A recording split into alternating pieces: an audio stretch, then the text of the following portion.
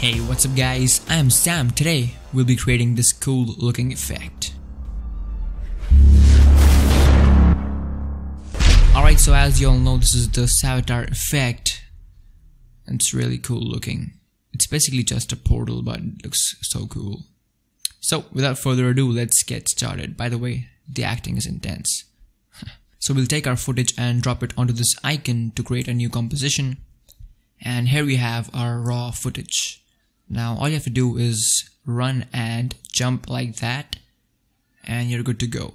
And make sure that the camera stays still.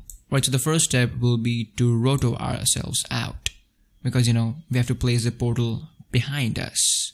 So what we'll do is take the roto brush tool and make sure your comp resolution is set to full and then double click on your footage and uh, we'll just select a frame maybe this one. And we'll just roto it out. So just hit the tilde key to maximize this panel. And just start drawing a mask. And to remove the unwanted area you can hit alt.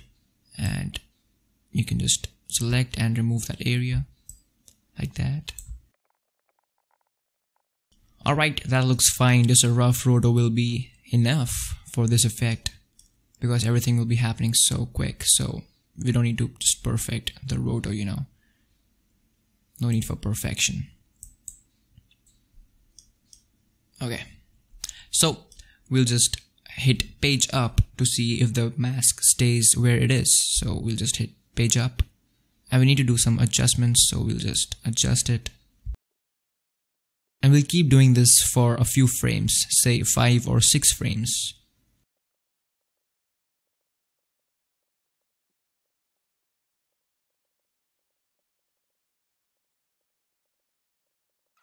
By the way, while I'm doing this, you can go ahead and continue watching that Game of Thrones episode if you want to.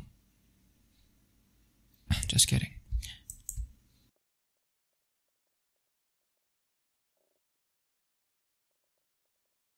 Alright, I think that's fine for now. And let's just see what we have here. Alright, that looks fine. Now what we'll do is duplicate this footage and remove the roto brush effect from the bottom one so that we have our original footage back and we can name this as original and we can rename this as roto and then we'll just solo this one for a moment and we'll find the point where we have our mask so this point. And then we'll hit alt begin bracket to trim the footage.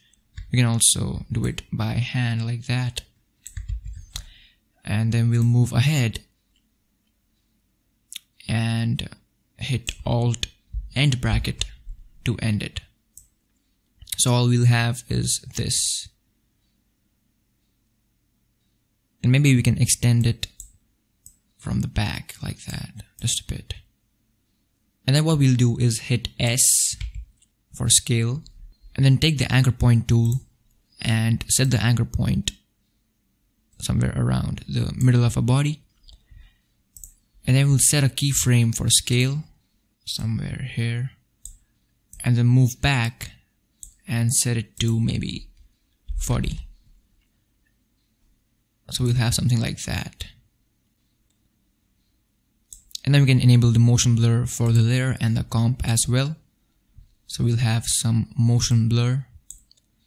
And maybe set the scale to 20 that's small.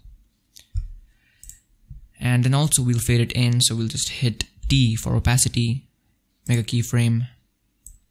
Bring the keyframe forward a few frames and then set it to zero. And what we need to do is find an empty frame from the background. So we'll just duplicate our footage and maybe rename it as BG background and then just find a point where we have a still background like that. Then we'll right click on the footage and go to time, freeze frame. So we have a freezed frame of the background. And we'll just place it below everything. So what we'll do now is trim our original layer from the point where our roto layer ends. So we'll just do it like that. And let's see what we have here. So that's what we get after doing the roto part. And now we can start focusing on the portal. So now what we'll do is create a new composition and name it as portal and hit OK. And then we'll create a new solid and we can name it as noise and hit OK.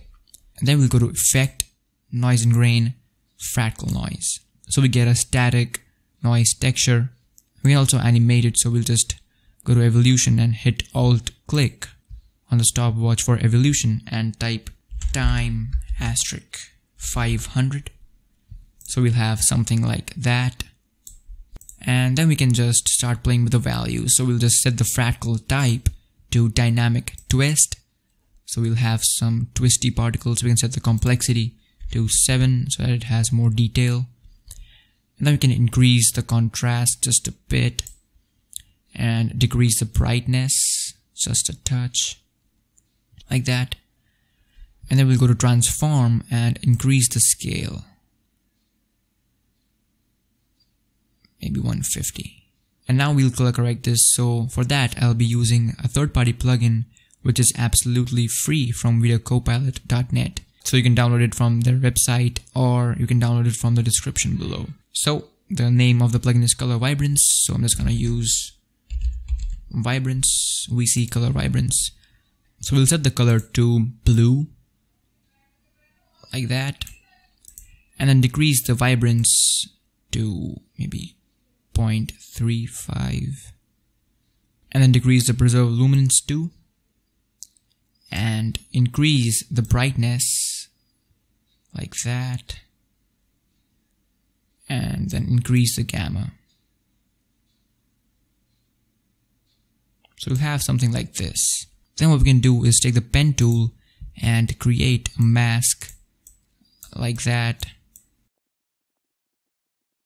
and then hit F and feather this layer. Maybe just set it to 400 so we have something like that. And then what we'll do is add another effect which is vector blur. So we'll go to effect blur and sharpen CC vector blur. And this effect is the key effect of this final effect. I hope you understand what I'm trying to say. Okay so what we'll do is set the amount to maybe 75 and then increase the ridge smoothness to maybe 0.5 and increase the map softness. Let me just set it to 50.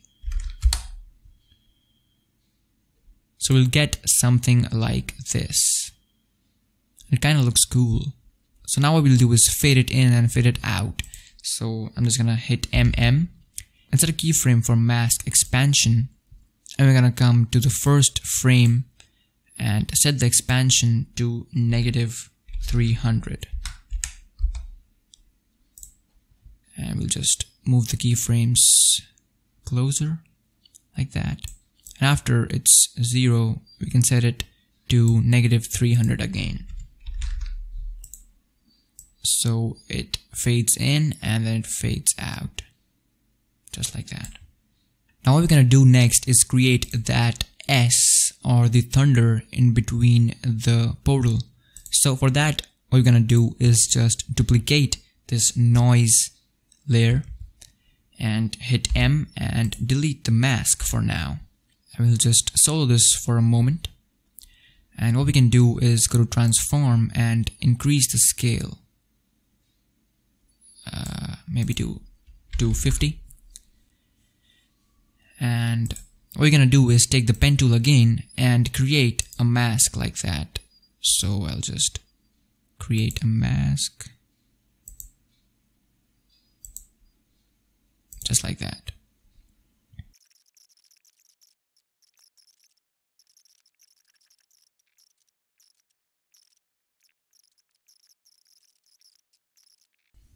So what I feel is that this mask looks too perfect. So I'm just gonna create a new mask.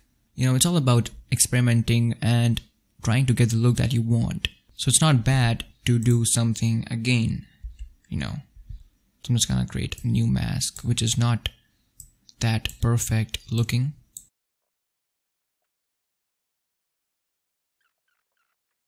Now we can set the keyframes for the mask path. So hit M, set a keyframe, and just try to place it in the center. And then we'll go back and then set the mask how it was supposed to be. Just like that. Then copy this keyframe, edit, copy, and go ahead and edit paste. So now we have something like this. Also make sure to feather it, so hit F, increase the feather, like that, hit MM, also keyframe the mask expansion, move back, set it to 0, move ahead, increase it, just like that, maybe just do some changes in the mask. Then move ahead and set it to 0 again. Oh negative 25 negative 25 negative 30 maybe. Yes. Negative 30 now let's see what we have here. Definitely better looking than before. And maybe you can also adjust this mask so that it's not that perfect you know. So let's just adjust it like that. And now we can go ahead and, and make sure it's below the and drag it onto this composition. Make sure it's below the roto layer like that. So right now you can see that the effect is not that semi-transparent. So what we need to do is go into the portal layer and set the and set the matte alpha to on for both of these layers. So we'll set it to on and maybe just decrease everything. Alright so that will get fixed. And now what we can do is place it where we want it to be. And uh, we'll just place it behind ourselves. One more thing we can do is go to right click time time stretch and set the stretch factor to 60 so that will make the animation more fast. And we can also have some color correction so we'll just have this color correction adjustment layers in here. And now let's see what we finally have here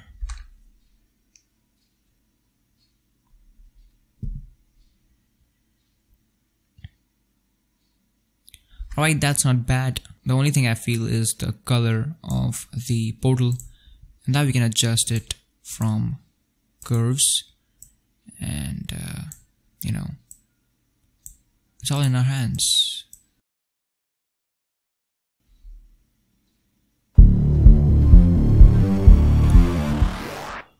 Alright, that's it. I hope you all enjoyed this tutorial. I hope you all learned something new. And as I always say, it's all about playing with the values and adjusting things to get the look that you want.